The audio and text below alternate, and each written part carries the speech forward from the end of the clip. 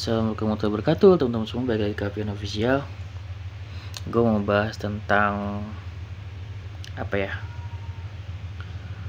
Uh, Posisikan diri kita Dari dua arah Dalam Di dunia Youtube gitu. Maksudnya gimana bang? Aneh banget gitu kan. Bikin judul aneh amat gitu kan. Jadi gini teman-teman maksud gue Kalau ini mungkin curhatan gue pribadi kalau misalkan kita nge YouTube itu kita memposisikan dua arah. Dua arah tuh gimana bang? Kita memposisikan sebagai konten kreator atau youtuber juga kita memposisikan diri kita sebagai subscriber atau penonton gitu kan ya. Kayak gitu. Sebagai konten kreator tentunya kita ingin dihargai ya dari konten kita kayak gitu sudah pasti seperti itu. Kalau misalkan teman-teman sebagai youtuber nih terus melihat konten orang lain tentunya teman-teman akan merasa apa ya merasa menghargai lah konten orang. Karena teman-teman tahu sendiri sebagai posisi sebagai konten kreator kayak gitu. Jadi kayak gitu. Kalau teman-teman sudah menonton video orang lain itu teman-teman sudah sebagai subscriber atau sebagai penonton. Jadi subscriber juga dibagi tiga ya menurut gua. Jadi subscriber itu sebagai eh subscriber penonton ya penonton itu sebagai seorang subscriber. Penonton itu juga bisa sebagai sekadar penonton. Subscribe enggak gitu kan. Jadi kalau misalkan ya ada dia tonton kalau enggak ada ya ya nggak apa-apa gitu. Karena dia cuman pengen sekedar nonton lewat aja gitu. Juga penonton itu juga ada sebagai haters ya teman-teman. Kalau misalkan subscriber ini biasanya subscriber ini misalkan 80% lah 80% itu positif gitu ya kepada channel teman-teman. Terus 10% nya itu apa ya? 10% nya mungkin uh, kritik dan saran gitu ya. Banyak kritik dan saran kayak gitu. Terus 10% nya lagi apa? 10% nya lagi eh uh, apa ya gue lupa gitu kan. Mungkin apa ya kalau 10 persennya lagi mungkin oh iya maksud gue 10 persen itu banyak memberikan saran ya sekedar saran. Kalau kalau yang 10 persen lagi lebih banyak kritikan ya kritikan kritikan. Namun kritikannya agak tajam tapi uh, masih mendukung lah gitu kan walaupun mengarahnya tidak ke haters gitu karena masih subscriber gitu masih kritikan yang membangun gitu.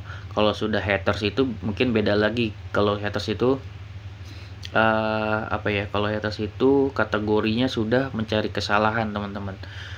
Kayak gitu mencari kesalahan yang ya apa pun celahnya dicari kayak gitu. Makanya kadang uh, haters itu melebihi subscriber gitu. Maksudnya kan nggak hanya sekedar mendukung dia tuh sangat teliti gitu.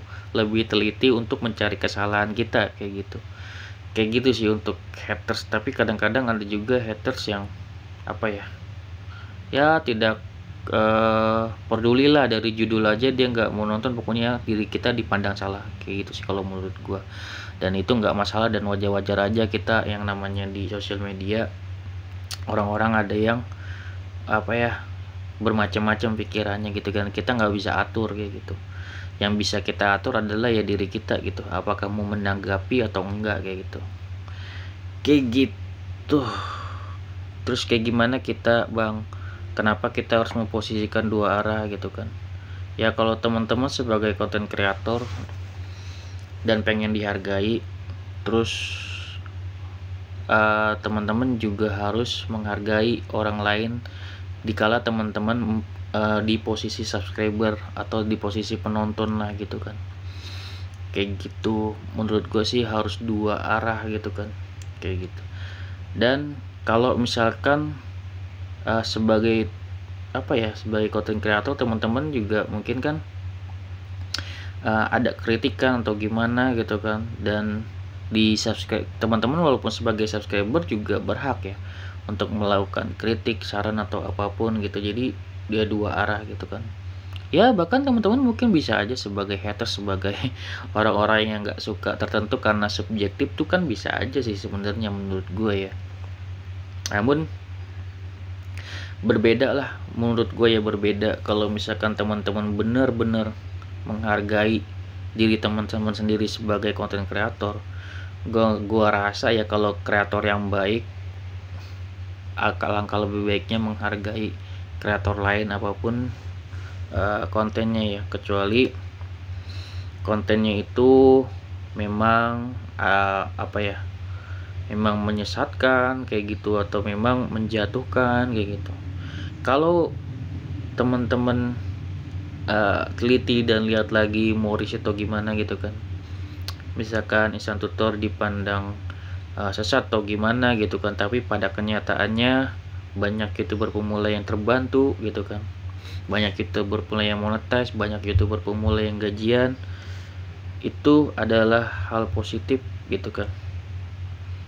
Buktinya apa? Buktinya masih banyak orang yang memberikan super thanks dan uh, justru YouTube berterima kasih ya. Or uh, konten-konten seperti Insan Tutor itu banyak memberikan keuntungan kepada YouTube karena uh, yang YouTube jalanin sekarang ini yaitu super tank, super chat dan segala macam itu malah jalan di Insan Tutor.